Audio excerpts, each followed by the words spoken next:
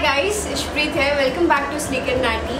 First of all, I want to thank you guys for such a tremendous response to my last video. Okay, so now coming to this video. So all of us have so many salwar suits, salwar kameez suits with us and uh, salwar suits are not much in fashion these days. So in today's video I'm going to tell you how you can convert your salwar into a lehenga skirt. Yes, so with the same shirt you can wear a lehenga instead of a salwar to give it a trendy look like this. In fact, the suit that I'm converting in this video is one of the suits from my wedding trousseau. So the shirt is really beautiful. It has beautiful work on it. Uh, the only problem was that it had a salwar so it looked a little old fashioned. So I thought to give it a new look and I'm going to show it to you in this video. So let's start.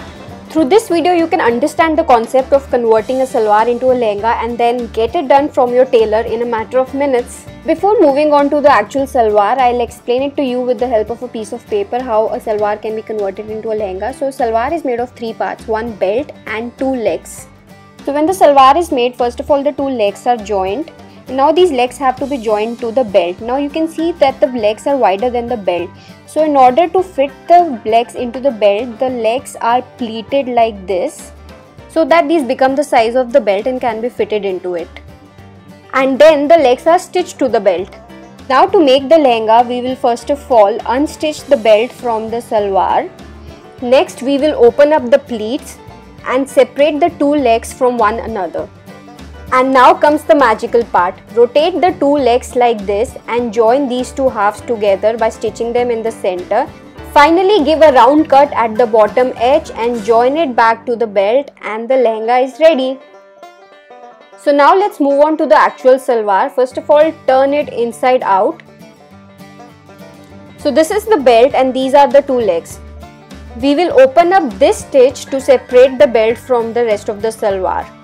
I'll be using these thread clippers to open up the stitch in this video. You can of course get it done from your tailor. Since my salwar has this interlocking so I'll open up this as well. So the belt is now separated from the rest of the salwar. I'll now unsew the second stitch to open up the pleats as well. All the pleats are opened up and now it's time to separate the two legs so we will cut on this center stitch. After this cut off and remove the bottom stiff parts of the salwars which are also called poncha in Hindi.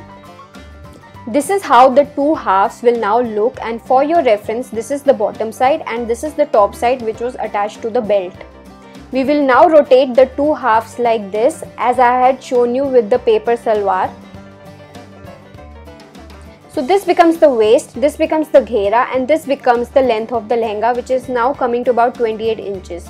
There is another option for you as well. We have these openings which we had got when we had separated the two legs of the salwar.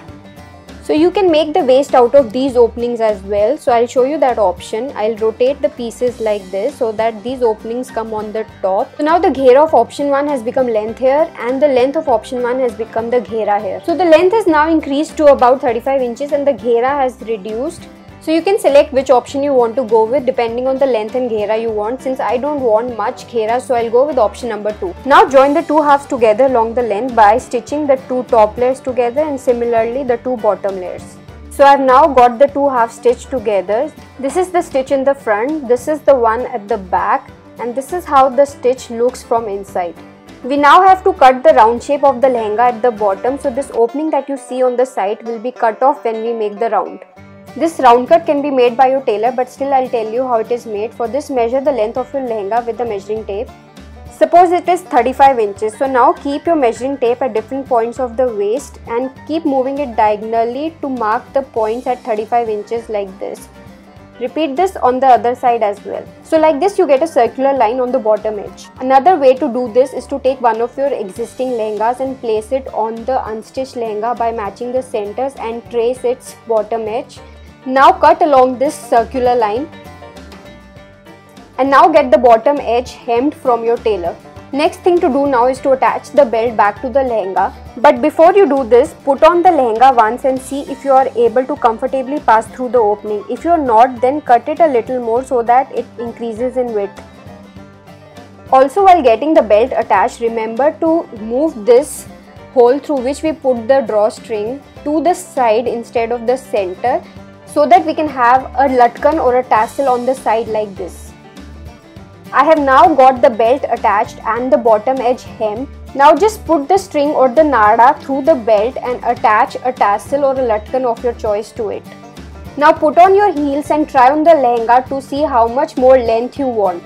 Depending on that, select a narrow or a wide lace and attach it to the bottom border of the lehenga to get your desired length. Since I didn't need to add much length, I went for a narrow lace which matched with the work on my shirt.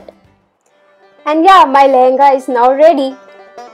I seriously loved this pairing of the short kameez with the lehenga. It looked so much better than the salwar and that stitch in the center of the lehenga actually gives it the appearance of a sharara. So guys, I really hope that you like this video. If you did, don't forget to give it a thumbs up and do connect with me on my Instagram account which is Slick and Natty. And don't forget to subscribe to my channel for more such videos. Thank you so much for watching. See you guys next time.